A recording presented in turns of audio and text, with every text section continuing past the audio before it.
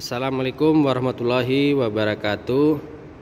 Alhamdulillah hari ini kita di Honda Arista Banda Aceh kedatangan mobil terbaru dari Honda yaitu Honda City Hatchback. Di daerah lain mungkin sudah semingguan yang lalu sudah ada dan di Aceh baru hari ini. Maklum karena provinsi Sumatera paling ujung jadi baru hari ini nyampe. Jadi sebelum datang ke dealer ada baiknya Bapak Ibu tonton video ini sampai habis. Karena apa? Nanti Bapak Ibu bisa lihat fitur dan spek dari eksterior dan interior untuk new Honda City Hatchback.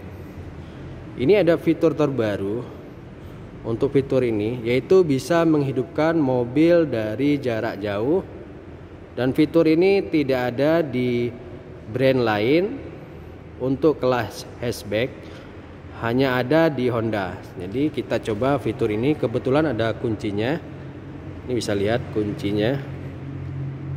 Kita fokus dulu. Ini ada tombol mengunci tombol membuka dan tombol tahan. Kita tes hidupkan.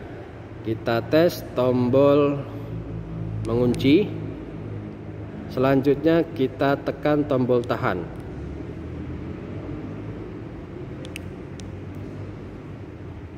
Coba kita ulang lagi. Tekan tombol buka. Tekan tombol kunci. Selanjutnya kita tekan tombol tahan. Wow. Sangat mantap sekali fitur ini. Jadi fitur ini di saat mobil dijemur di terik panas matahari jadi AC bisa menyebar di seluruh kabin. Di saat kita masuk mobil sudah dingin atau kita masuk sudah nyaman untuk mobil ini. Kita matikan tekan tahan. Sudah mati mobil ini. Jadi mari tonton video ini sampai habis kita lihat untuk tampilan depannya. Untuk tampilan depan dari desain depan sampai ke atas, bawah sampai ke atas bisa lihat sendiri. Bagaimana desainnya? Ini desain terbaru dari Honda. Selanjutnya bisa lihat untuk headlamp itu sudah full LED ditambah DRL itu di atasnya. Biasa kan DRL di atas di bawah. Ini di atas, selanjutnya lampu sen itu di bawah. Itu juga sudah full LED. Dan fog lampnya kita bisa lihat sendiri, itu juga sudah full LED dengan grill warna black glossy. Jadi warna hitamnya mengkilap dengan logo Honda di tengah-tengah dan emblem RS. Untuk spesifikasi mesin itu terbaru. Ini karena pengganti Honda Jazz. Itu mesinnya sekarang sudah DOHC double comper double overhead camshaft jadi mesinnya itu beda dari yang sebelumnya. Sudah double overhead camshaftnya tenaganya itu lebih besar dari yang sebelumnya yaitu 100 21 PS dan torsi 145 Nm. Dan ini minyak lebih irit 3% dari Jazz yang penggantinya itu. Untuk tampilan samping bisa lihat sendiri. Nah, ini desainnya bisa lihat sendiri. Beginilah desainnya. Ini seat hatchback yang sebenarnya karena lebih pendek daripada Jazz. Kalau Jazz itu dia lebih tinggi. Nanti ukuran speknya saya akan sematkan di video bawah ini untuk velg two tone polish bisa lihat sendiri depan rem cakram dan di belakang masih tromol yang sangat disayangkan untuk ban kita bisa lihat untuk bannya itu Brixton dengan ukuran ban 165 per 55 ring 16 jadi spek ban itu sama dengan Honda Jazz.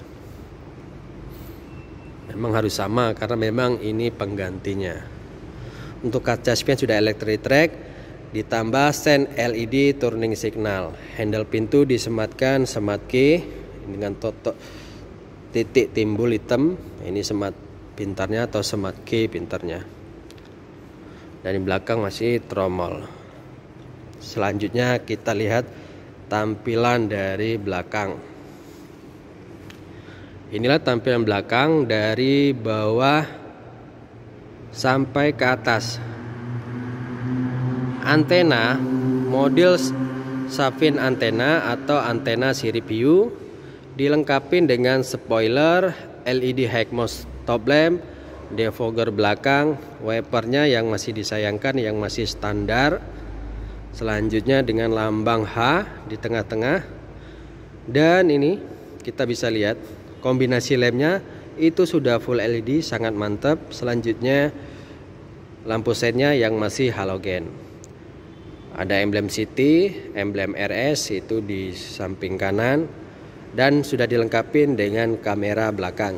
Ini kamera sudah bawaan pabrik. Selanjutnya ada empat titik sensor parkir. Itu sangat bagus. Biasanya itu kalau Honda itu sensor parkir hanya dua titik, ini empat titik dan ujung kiri dan ujung kanan disematkan mata kucing. Diffuser belakang, nah ini kesannya lebih sporty penghancur atau aerodinamis untuk pemecah angin jadi biar mobilnya lebih cepat di saat berkendara. Kita lihat bagasi belakangnya. Dan inilah bagasi belakangnya. Bisa lihat sendiri sangat lapang. Ini bagasi belakangnya.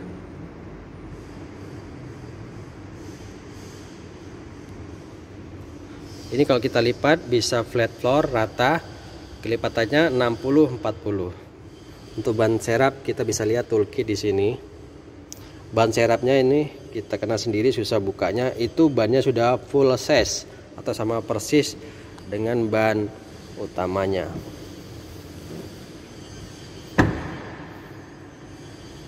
Dan inilah tampilan dari sampingnya.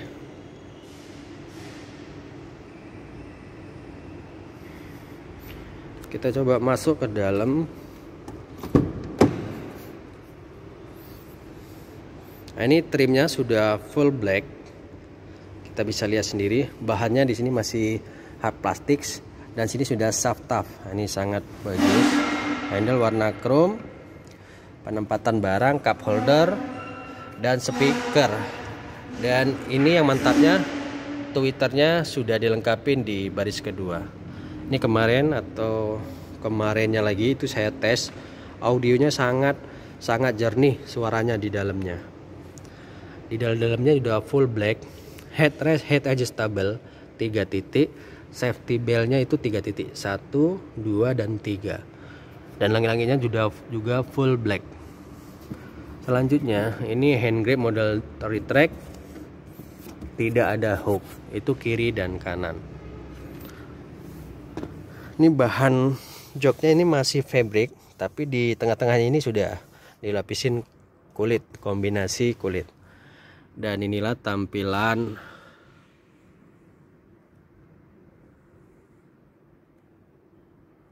kita coba bikin fokus.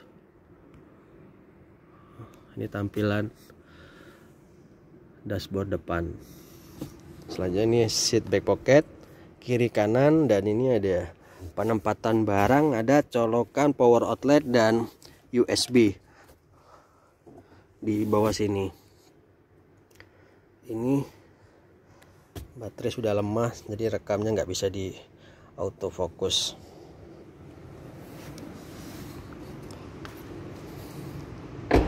Selanjutnya handle pintu disematkan kunci pintar. Ini trimnya sama persis di baris kedua tadi full black. Itu ada Twitter handle pintu warna chrome depan auto window lock auto door lock electric retract kiri dan kanan. Cup holder door pocket dan speaker. Untuk kursi itu bisa reclining sliding dan head adjuster jadi lengkap. Itu ada dua pedal pedal gas dan pedal rem. Coba kita masuk. Ini sudah engine start dan untuk speedonya itu enggak trimester cluster tapi di tengah-tengah ini nanti akan hidup model MID tuh oh, untuk speedometernya masih biasa. Tapi kalau saya lihat itu lebih mantap ke jazz yang sudah full TFT ini udah swift steering bluetooth teleponi cruise control dan sini ada pedal shift untuk menaik menurunkan transmisi dan ini untuk menaikkan transmisi. Ini bisa lihat sini ini pengaturan wiper dan pengaturan headlamp. Untuk setir itu lengkap bisa tilt dan teleskop steering. Jadi fitur ini lengkap seperti jazz. Untuk audio sudah lumayan besar dan ini layar sentuh dan AC nya sudah juga digital dan ini model terbaru jadi nggak model layar sentuh model diputer. Ini bisa kita lihat ada dua colokan USB dan dua buah power outlet dan transmisi dan ini posisi transmisinya. Dan ada fitur icon mode atau fitur penghemat minyak. Rem tangan masih model hidrolik biasa. Sandaran tangan itu bisa kita buka tutup. Dan ini penempatan barang tuh dashboard dashboard depannya.